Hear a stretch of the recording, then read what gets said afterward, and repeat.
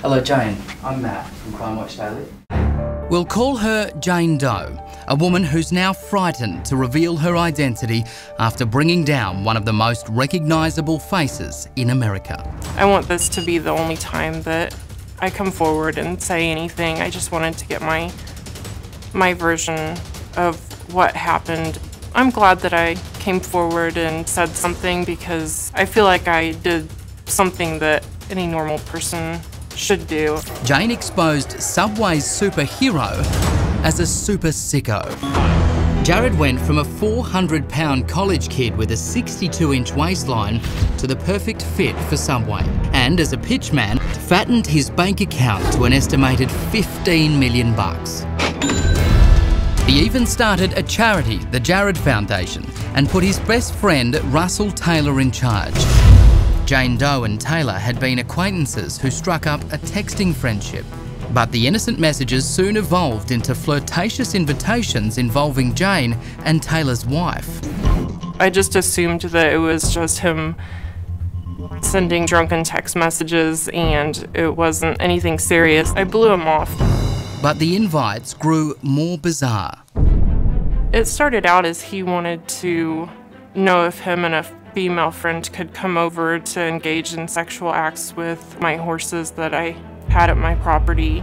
I didn't take him seriously at first. But the text soon included graphic images, and Jane knew this was no joke. That's when I realized that I needed to ask the police for guidance. As shocking and vile as those exchanges were, everything changed when Jane Doe received a text that simply went too far, and it would prove to be the first domino in Fogle's downfall.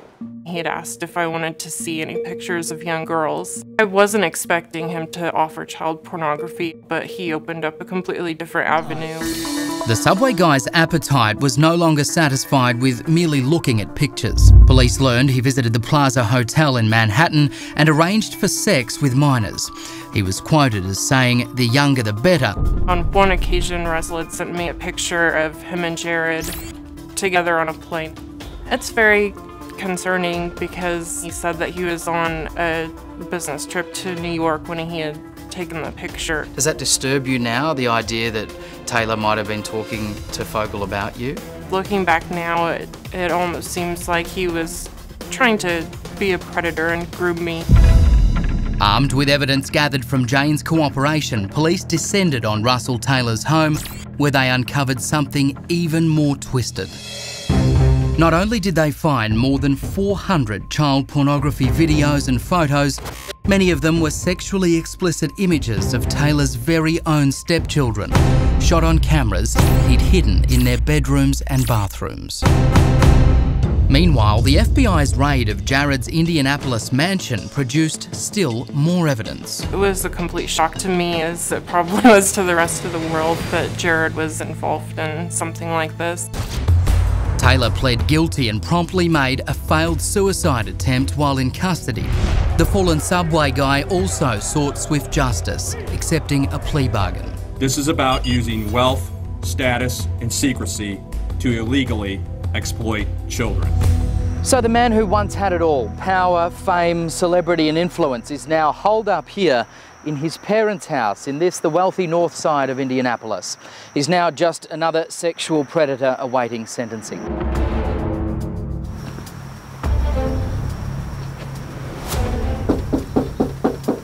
To my surprise, Jared actually started to open the door. Mr. Fogle, it's Matt Doran here. I'm just from Crime Watch Daily. I'm wondering if we could have a quick word, please. But our camera spooked Jared, who then sent his own mother to shoo us away. Hello, ma'am. Could we just have a really quick word? My name's Matt. I'm from Crime Watch Daily. Is the, uh, we couldn't have a really quick word with Jared. We just want to ask him about the case. Could you just tell us, ma'am, or, or Jared, you're there, you're behind the door. Could you tell us, do you regret what you did, or do you just regret being caught? Mr. Fogle? Fogle faces up to 12 and a half years in federal prison for his crimes and is ordered to pay $1.4 million in restitution to his victims. If not for Jane's actions, he might still be the face of a franchise and caring for children in public while preying upon them in private. How did you feel knowing that a phone call and a decision that you took played a key role in helping to effectively save those children from further victimisation. I'm glad that I was able to stop it, but I also feel horrible that they were being victimized.